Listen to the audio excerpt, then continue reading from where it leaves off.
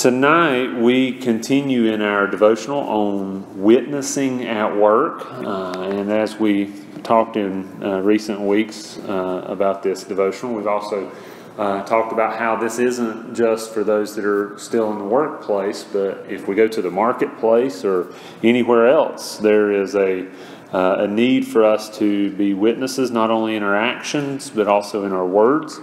And, you know, last time we talked a, uh, a bit about uh, how Jesus uh, spoke a lot about, uh, or how the Bible speaks a lot about Jesus being in the marketplace where he was interacting with people. Uh, and you know we could correlate that to the workplace and how the Bible talks a lot about work.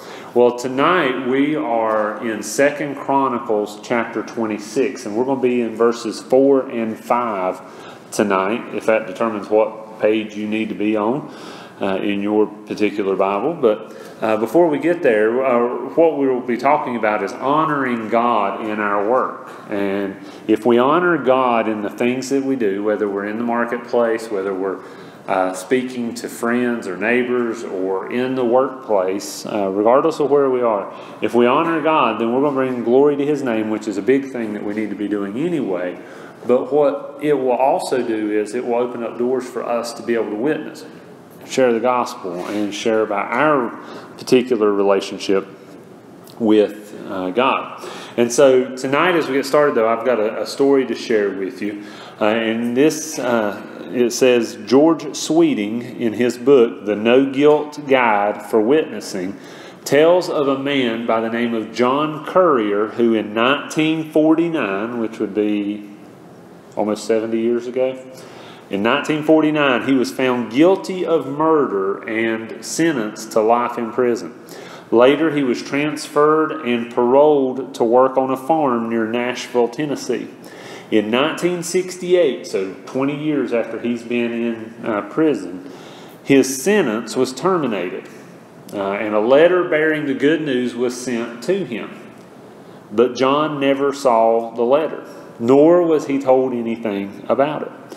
Life on the farm was hard and without promise for the future, yet John kept doing what he was told even after the farmer for whom he worked had died. Ten years went by.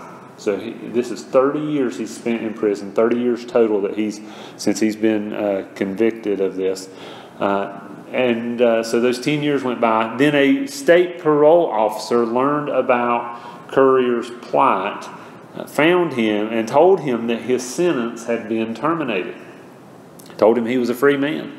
And the author of this book, uh, Sweeting, concluded the, that story by asking Would it matter to you if someone sent you an important message, the most important message of your life, and year after year the urgent message was never delivered?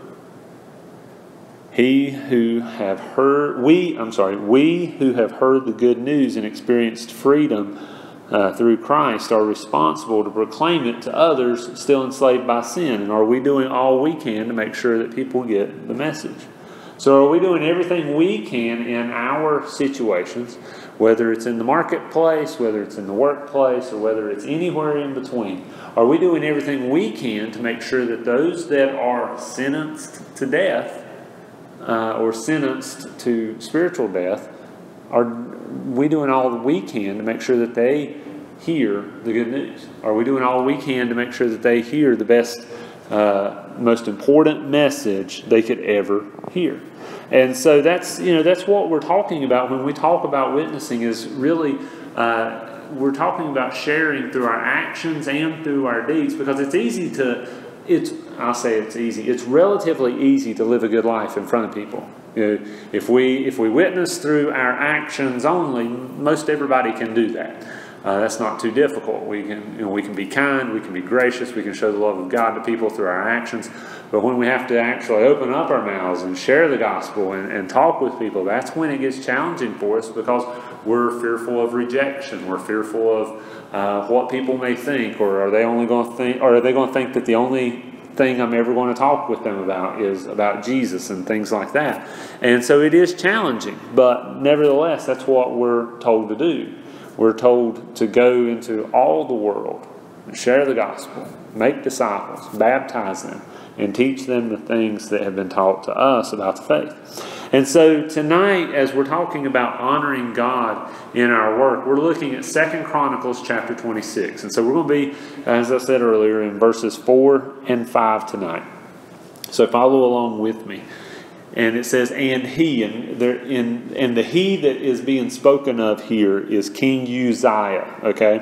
And it says, and he did what was right in the sight of the Lord, according to all that his father Amaziah uh, had done. He sought God in the days of Zechariah, who had understanding in the visions and the uh, visions of God, and as long as he sought the Lord, God made him prosper.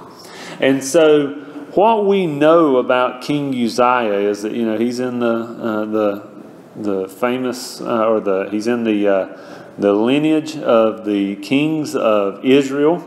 His father Amaziah or Amaziah uh, uh, passed away, and when he did, Uzziah became king of Judah. Okay, he became the king of Judah at the age of 16.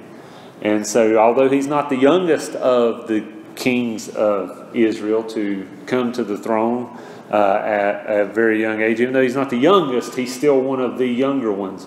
Uh, and I'll tell you, I, you know, thinking about the mental state of my two boys, I could not imagine them in three or four years being the king of a nation. I just, you know, I guess it would be a good thing that I wouldn't be here to see it. Maybe that's just sort of the mentality I ought to have with it. But when we when we look at um, when we look at this, we, we've got to think about this young man. He's come to the throne. He has a lot of responsibility. He's got a lot of temptations. He's got a lot of power. And even though he has all of these things, uh, it tells us there in that uh, in those verses. It tells us in verse five. It says he sought God in the days of Zechariah, uh, you know, who was a, a prophet. And so he and, and it says there, as long as he sought the Lord, God made him prosper, which implies what? Not just that God prospered him when he followed him, but what does that imply about the flip side of that? That there was time when he didn't follow God, and God did not prosper him or the nation of Israel uh, during those uh, times. But while he sought out the Lord, we know uh, in all of his work, we know that God prospered him. But we know that he came, he became prideful from what we read in the scriptures. Uh, in Second Chronicles 16 through 20, uh, we read about how uh, he became uh, very prideful, and when he did, uh, when he thought it was all about him, when he thought it was all, you know, the, the success of the nation of Israel was because of him, and that he didn't need uh, didn't need anything from anyone or from God, God withdrew His hand of blessing. And so we all, from the scriptures, understand what that means for not only him, but for the kingdom of Judah, that they uh, were uh, facing a difficult time. But we also know that uh, one of the things that is told us in the scriptures is that not only was Uzziah uh, his the blessing of God removed from him, he was also afflicted with leprosy uh, because of that pride and God trying to get his attention. And so uh, we know that from the scriptures that's what uh, went on with him. Now, when we look at what we do in our daily life, whether it is something that we do for someone else, whether it is something that we do at work, whether it is uh, something we might do in the church uh, to serve, or whatever the case may be, uh, we understand that we need to be like uh, King Uzziah was when he's mentioned in verse 5 about how as long as he sought the Lord, God prospered him. We need to seek the Lord and we need to honor the Lord and give glory to God when He uh, helps us in our day to day life in the ways that we are able to care for others or do for others or just in our opportunities to witness to other people through our lives and through our words. When we do that, what we see is that God is going to prosper us. He's going to, and when I say prosperous, that's not like what you see from those phony balonies on TV that you know that tell you you know send in hundred dollars and God's going to fill up your bank account. That's not the kind of prospering we're talking about. What we see is that God is going to prosper our, uh, our work for Him. And that's what we ought to be concerned about. We shouldn't be concerned about whether God's going to fill our bank account or whether He's going to bless us in this way or that way. What we need to do is make sure that what we're doing in sharing the gospel and serving Him by talking to people and serving others, when we do that, when we give Him the honor and the glory, God's going to bless the work that we're doing. He's going to help us to accomplish great things for His kingdom when we do that. And so we need to make sure that we uh, serve God in our daily life and in our daily work, whether it's in the marketplace or in the uh, workplace or whether it's uh, serving our neighbors or, or whatever the case may be. But when we do, we need to serve God in all that we do and ask Him to keep our eyes on Him, you know, to help us keep our eyes on Him. And so that we stay focused on Him. Because if we stay focused on Him, it's like Peter stepping out of the boat in the storm. As long as Peter had his eyes on Jesus, he didn't have any trouble. But when we let our eyes wander from God and He's no longer at the forefront of our uh, of our mind, then what we see is we start to stumble. We start to go down in the storm. You know, one of the one of the things that uh, God talks about in Deuteronomy chapter six when He uh, when he's giving the law to the Israelites through Moses, he talks about how you're supposed to talk about the law with your children uh, as you walk by the wayside and by, uh, you know, when you're uh, at home and to post them on your doorpost and all of these things he's talking about doing. And you're to have them as frontlets before your eyes. You know, that the Jews at one point, they were so caught up in their religion and not their relationship with God that they actually had these these things that would hang before their eyes with the uh, with the law you know, or at least uh, small portions of the law And that was so that they could keep their focus on the law, which I don't know how they'd walk around or do anything with those sort of things in front of them. But that's the idea of what we are to do with God, that we are to keep Him in our in the forefront of our mind, in front of our uh, in, in in focus, in view of us all the time. And when we do that, what we'll see is that it, it becomes easier for us to serve Him. It's easier for us to talk about Him. It's easier for us uh, to witness to others. And it sort of goes back to what Paul talks about when he was writing to the Colossians in Colossians chapter 3. So I'm going to have you turn over there, uh, Colossians chapter 3, and we're going to see how Paul tells us that uh, how we ought to uh, sort of do what King Uzziah was doing. And so we're in Colossians 3 23 and 24. And the interesting thing uh, is that uh, just a few years ago, if I'm not mistaken, uh, this particular verse, or one part, part of this verse, was uh, the theme verse for the a week at Caswell. And so I thought, as I read through the devotional, I was thinking, well, that's kind of ironic that not too long ago this was the theme verse at Caswell, and here tonight we're going to be praying for our youth and our leaders going to Caswell. But in Colossians chapter 3, in verses 23 and 24, Paul writes to the Colossians, he says, And whatever you do, do it heartily as to the Lord and not to men, knowing that from the Lord you will receive the reward of the inheritance, for you serve the Lord Christ. And so Paul is reminding us that everything we do, uh, whatever we do, we ought to do it as if we're doing it for God and not for man. Now, let me ask you if we were to do everything, everything, like the way we serve our spouse, or treat our spouse, or do things for our spouse, or our neighbor, or our children, or our grandchildren, or the person at the grocery store, or the people that we work with, if we were to serve them, okay, and I'm not talking about, you know, groveling on your knees with a, a platter over your head type, but just in our day to day life, in the way we interact with them, if we were to serve them as to the Lord and not to men, how would your attitude, how would your actions be different towards them if you did it as to the Lord and not to a man or a woman? Would it be just a little different? Pastor, Pastor Nick saying himself, yes.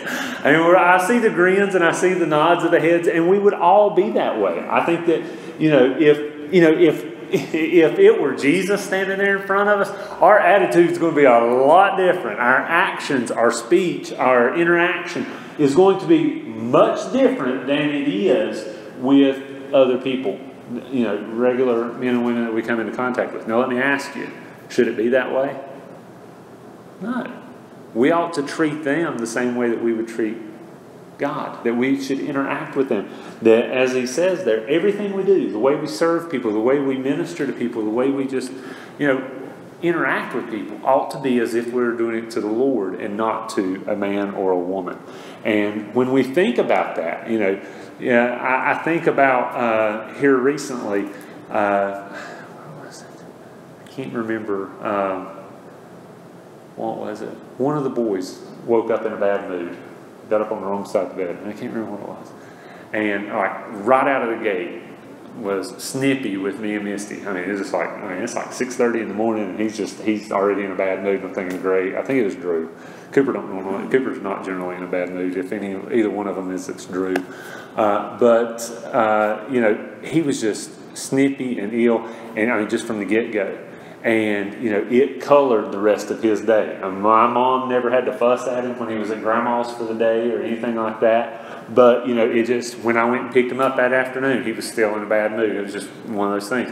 And if we are, you know, if we are treating people like that, if we treat people, uh, you know, disrespectfully, or uh, are short with them, or you know, ugly towards them, or whatever you want, however you want to phrase it, if we are that way with them as a, a general rule of thumb, if that's just our general demeanor towards people, then you know, we have to see that the way we're treating them is definitely not the way that God would want us to first off treat them, but much less how we would treat Him, how we would serve Him, how we would do things for Him. Because that morning that uh, Drew was in a bad mood, I think is the best way to put it, uh, he was not happy about the fact he had to load the dishes or fold clothes that evening or whatever the case was. He was just he was in a bad mood and it was just all, you know, just rough and tumble and just mad and just mad at the world type thing. And because of that, you know, he wasn't doing things that me and Misty asked him to do as to the Lord. He was doing it as to men. And so we have to see that we have the opportunity to interact with people. And when we treat them like we would Jesus, if he were the one standing in front of us, it gives us the opportunity to uh, make inroads into spiritual conversations with them. Because think about it, how many people are how many people do you know that you could come into contact with anywhere? Neighbor, grocery store, workplace, wherever it is. How many people do you know of if you uh, were a sourpuss, as we call it, you know, towards them, if that was your interaction with them, how many of them do you think would want to hear about your Jesus?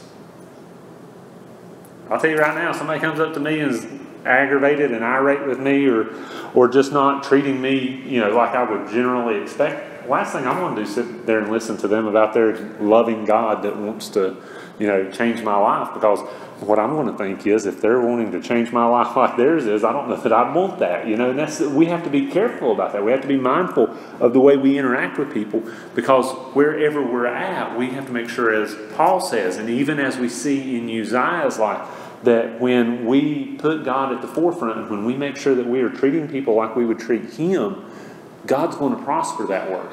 He's going to make sure that we uh, that we make inroads for the gospel and for the kingdom uh, like he would like he wants. See, Jesus once told a parable of a nobleman who uh, entrusted some of his wealth to some of his servants. And I'm not going to ask you to turn here, but I'm going to read this to you. It's from Matthew chapter 25. And it's verse 21. And what we see is that to the one who made a wise investment, Jesus, or not Jesus, the master, uh, doubled the pro- uh, he gave his master double the profit. And this is what he said. He said uh, to the servant, he said, Well done, good and faithful servant. You were faithful over a few things. I will make you ruler over many things. Enter into the joy of your Lord. And so, right here, what we see is that God wants to entrust us with small things, and He watches us. He tests us, so to speak. See how we're going to do with a little bit of responsibility. And then if we are found faithful and don't squander the opportunities that He gives us, then He's going to multiply that. He's going to make it a little more and a little more. It's kind of interesting. On our way to church this evening, we got behind a moped uh, on the Cages Mountain Road. And as we were coming up through there, we were like three cars back, and it's in the curvy section, and they're riding in the middle of the lane. So Drew, Drew just sort of leaned over and said, "We're going to be late for church. This is like 15 till 6." You know, he's like, "We're going to be late for church." I'm like, "Well, probably not, but okay." I was going to whichever way they went at the end of the road, I was going to go the other because uh, I'd still make it quickly either way. But anyway, so as we're riding down the road, Drew asked me, he said, Do you have to have a driver's license to drive a moped? And I said, No. I said, You don't have to have a driver's license to drive a moped. And he said, I know what I'm asking for Christmas. and I told him, I said, I said, Yeah, but you still have to have a, a parent who will let you drive it on the road. And he said, Oh, never mind. He said, I'm going to ask for a tractor. I said, I can hook you up with that. Uh, but it's that mentality, you know. You know, I said, I told him, I said, you have to have a, a parent who will let your 12 year old or your 13 year old drive it on the road. You know, and at 13 years old, yeah, a moped, although not on the road, would not be a bad start for him. But, you know, you have to work up to those things. And as you are given, we all understand that when you're given a little bit of responsibility with something small, something larger comes along, and if you're found faithful, more responsibility is given. That's what God promises us, is that when we are faithful to honor Him in our work, in our interactions with other people, in the way that we treat people, and when God sees that we're faithful to do well with what He entrusts to us, our finances, the gospel, our speech, our time, our talents, our abilities, our spiritual gifts, all of those things, any of those things that He has entrusted to us, when we are faithful to use them, even in small ways, God will multiply what He does, what He's able to accomplish in our life. He'll He'll give us more responsibility. He'll give us more opportunities to share the gospel. Uh, you know, and God will reward us for our faithfulness to Him in our work, whether it's whether it's a, a nine to five job or eight to five job, or whether it is uh, some other uh, means, and He will be glorified uh, through it when others see Him in us.